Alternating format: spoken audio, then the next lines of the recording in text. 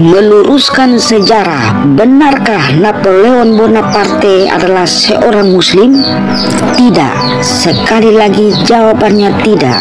Sebagai seorang Prancis, Napoleon terlahir Katolik, tapi secara pribadi dia mungkin bisa dibilang sekuler. Napoleon tidak memperdulikan sentimen-sentimen agama. Ini terbukti pada waktu pelantikan dia sebagai kaisar Prancis.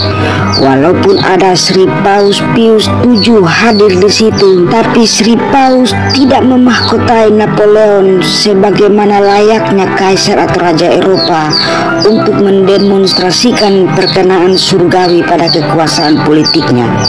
Napoleon malah memahkotai dirinya sendiri dan Sri Paus hanya duduk dan menonton.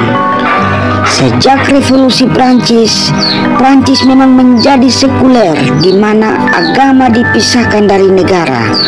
Napoleon sebagai penyelenggara negara mengambil kebijakan-kebijakan yang tidak mempertimbangkan sentimen keagamaan. Salah satunya adalah pada waktu penaklukan Mesir, Napoleon tidak membawa agenda kristenisasi sama sekali. Mesir waktu itu masuk wilayah Imperium Ottoman walaupun memerintah diri sendiri secara independen. Pada 1798, Napoleon melakukan pendaratan amfibi ke Mesir. Di sana, Napoleon seorang brilian melancarkan kampanye public relation untuk mengambil simpati rakyat Mesir. Napoleon mengatakan bahwa Nabi Muhammad adalah orang hebat yang mengubah wajah dunia. Dalam pidatonya dia mengatakan bahwa Perancis datang bukan untuk menghancurkan agama Islam, tapi untuk memulihkan hak rakyat, menghukum penguasa palsu, dan menjunjung ibadat yang sejati dari Nabi Muhammad. Katakanlah pada mereka bahwa saya mengagungkan Tuhan, nabinya dan Quran lebih daripada kaum Mamluk. Bahkan di satu kesempatan ia berpakaian seperti orang-orang muslim lokal termasuk memakai sorban.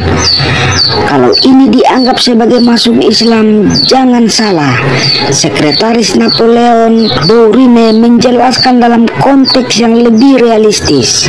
Ada yang menganggap bahwa waktu di Mesir Napoleon ikut serta dalam upacara-upacara agama ibadah muslim tapi tidak dapat dikatakan kalau dia merayakan festival sungai Nil dan ulang tahun Nabi Nya orang Mesir secara Mesir tadinya dalam kekuasaan Ottoman mengundang Napoleon hanya sebagai pengamat dan kehadiran penguasa baru ini sangat menyenangkan rakyat tapi Napoleon tidak pernah terlibat dalam kehikmatan apa pun Napoleon juga tidak pernah belajar atau mengulang doa dari Quran seperti yang dianggap banyak orang.